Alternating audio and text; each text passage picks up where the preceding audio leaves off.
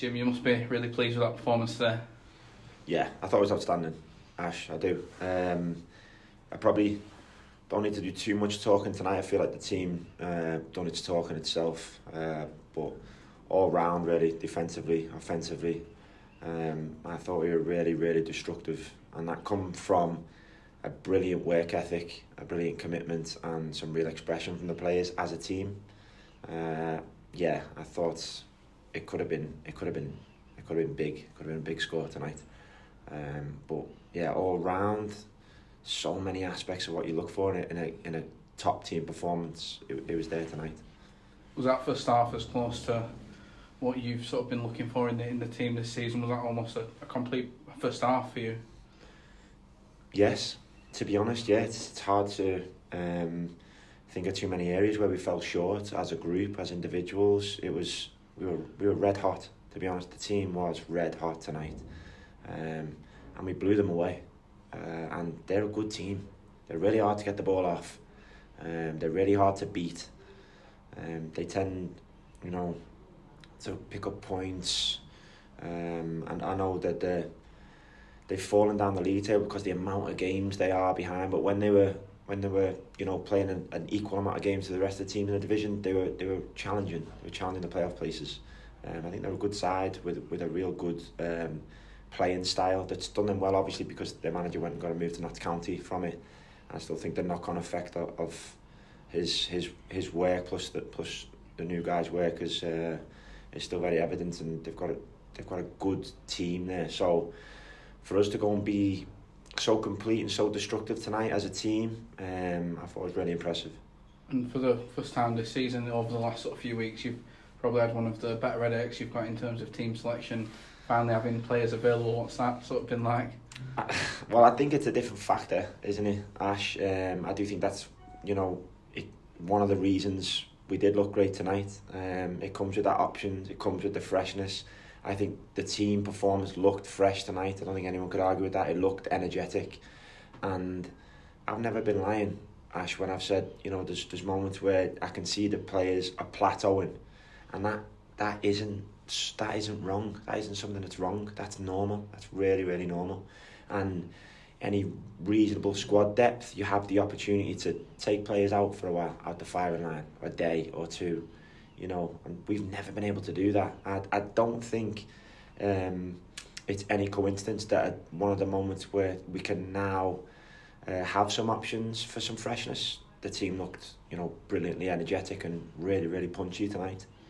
Keane will probably grab the headlines, but a player that I sort of wanted to highlight and discuss with you is a good friend of yours, Ethan Ebanks Landell obviously grabbed a goal, a clean sheet tonight. Must be really pleasing as a defender as well to see the team get that clean sheet. Yeah, it is. It is. Ethan was a monster tonight. I think he was a monster on set pieces for as well, which is good. I like it when he's on the move in the box. I like that. Um, when he's on the move, he's he can be a bit of a juggernaut, and I think he was tonight. And again, another aspect you look for in a complete team performance, set pieces. They were there tonight. Everyone that we were lining up or teeing up, you thought mm, we look hungry, we look dangerous, which is which you know it's always a welcome aspect. I spoke when we played the champions to be at the weekend. You know how they always seem to pull out a set piece goal when when when they're sticky in a game. Uh, tonight we had that aspect to us, so we looked dangerous in so many so many parts. But yeah, um, Ethan led led the defence. I thought the guys alongside him were amazing. I thought Kyron, George, Cam John came in was really fresh. Uh, Jimmy K, brilliant. I thought. I could I could name one to eleven. Uh, Ethan was brilliant. He led the team brilliantly, but there was so many other leader like aspects to, to so many of the other players' performance and um, I could go into detail on a few of the players' performances tonight that are really big, but I'm I'm hesitant to do so because I just thought the team was immense. We saw on Saturday before the game you went over and applauded the fans after each game. You go over and you do the same. How important is that relationship between you and them and that understanding of they know what you're trying to achieve here? It's big. It's big. Um, win or lose, I think it's big, uh, and I've always done that. I've always faced up. I think uh, in my playing days, and we had a lot of relegation dogfights in my time. We had some great times as well, at the top of League One and stuff.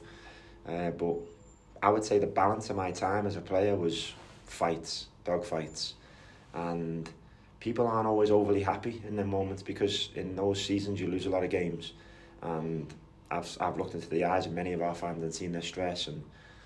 Uh, I've took the heat from them. They've called me things over the years, uh, but I, I get it. I get it. I, you know, I've got empathy for it. But equally, on nights like tonight, when the team is immense, um, I think it's really important to connect with them. I probably feel it's less important for me to connect with them when the team do that because I didn't do that tonight. They did. They did everything. The team, the squad this week in training, they did that tonight. All I do is try and get them in the best place possible for them to be what I know they can be. I believe in them.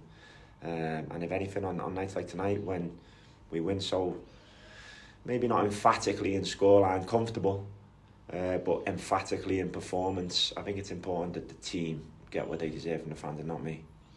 We'll need them over the next few weeks, it's the cliches that is, but aside that, looking at the games coming up Saturday, Tuesday, busy schedule coming up again, what's your sort of initial thoughts ahead of that and ahead of Ebbsfleet at the weekend? Just thinking how to keep the team fresh, knowing um, all the time there'll be judgments made on any change you make um, because not everyone sees what I see. Not everyone sees these players week in, week out. Not everyone knows their current physical state. Devante Rodney, for example, um, and being advised by the people that know better than any of us, our sports science department and the medical department. You know, if you re-expose Dev tonight after his first 95, 100 minute performance, and he's in danger because of the athlete he is. And to be honest, I've got to listen to them people even when my gut is saying I don't want to. I want to. I want to put them out there again, especially after the way Dev played the other day and how we finished the game and the, the goal, obviously. Um, but it's bigger picture stuff. We exposed Dev. Um, maybe too much last time. Maybe you don't know. You, you look into all these things, but and he went and pulled a hamstring the week after his first game. So um, it's important not to be greedy, and I have to um, face the music with my choices, knowing that I'll, I'll always put the players first, and you know the the safety first, of course. Um, never at the expense of my greed. I don't think that's right, but some nights it all goes right. It went it went right tonight. Hopefully, many more do.